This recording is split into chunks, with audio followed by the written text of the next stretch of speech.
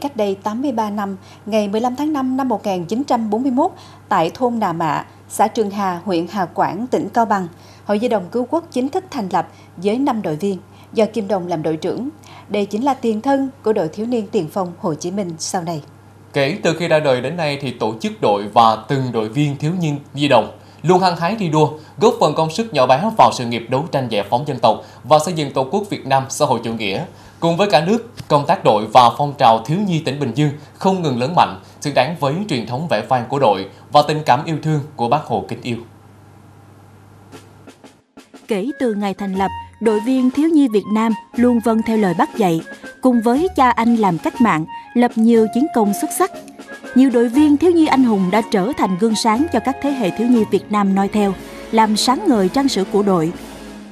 Với phương châm xây dựng đội là xây dựng đoàn trước một bước, góp phần tạo lực lượng hậu bị, vừa hồng vừa chuyên cho đảng, Hội đồng đội các cấp ở Bình Dương đã tập trung tăng cường đổi mới phương thức, nội dung hoạt động, gắn chuyển đổi số vào phong trào thiếu nhi để đáp ứng yêu cầu phát triển của tỉnh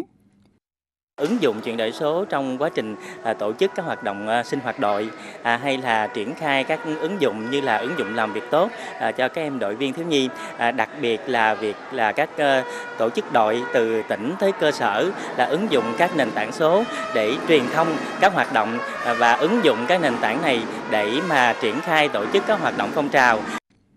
năm chương trình trọng tâm được Đội Thiếu niên Tiền phong Hồ Chí Minh tỉnh Bình Dương tập trung thực hiện hàng năm là tự hào truyền thống tiếp bước cha anh, rèn luyện tri thức vững bước tương lai, vui khỏe an toàn, học ngàn điều hay, xây dựng đội vững mạnh tiến bước lên đoàn,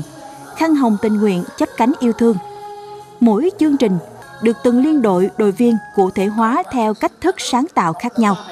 Riêng dịp kỷ niệm 83 năm thành lập đội, Hội đồng đội các cấp ở Bình Dương – đã sôi nổi tổ chức nhiều hoạt động ý nghĩa. Nhà trường đã tổ chức lễ tri ân cho học sinh khối chính, mỗi tuần một câu chuyện giới thiệu về một quyển sách hay, một uh, tấm gương sáng ở trong liên đội. Uh, ngoài ra thì uh, trong những cái giờ ra chơi của liên đội á, thì cũng tổ chức là chương trình phát thanh măng non, đọc về những cái câu chuyện về bác, cũng như là cho các bạn tìm hiểu nhiều hơn về ngày thành lập đội, về các anh chị là những người đội viên đầu tiên tổ chức các sân chơi cuối tuần online trên ờ, mạng xã hội à, cho các bạn có thể chủ động theo dõi bất cứ lúc nào à, hoặc là việc chúng tôi ứng dụng à, cái à, hình thức là à, quay video clip để mà cho các bạn có thể uh, có nhiều cái cơ hội tham gia các hoạt động phong trào của tỉnh để các bạn có thể rèn luyện những kỹ năng mềm của mình. Lấy năm điều Bác Hồ dạy làm định hướng, đội thiếu niên tiền phong Hồ Chí Minh tỉnh Bình Dương sẽ tiếp tục nâng cao chất lượng các phong trào, hướng đội viên thiếu nhi biết sống đẹp, sống có ích, xứng đáng là những chủ nhân tương lai xây dựng phát triển quê hương đất nước.